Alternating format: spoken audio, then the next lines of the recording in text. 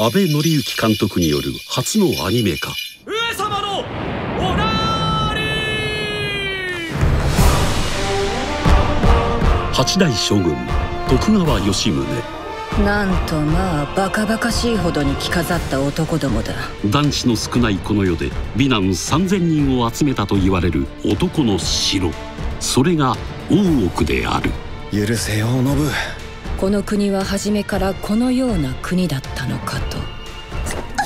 行っちまうのね時は遡り。男女逆転の大奥の世界がここから始まる。三代将軍家光の誕生である。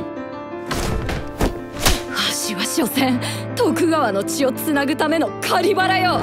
この方はきっと今まで幾度も幾度も打ちのめされてきたのや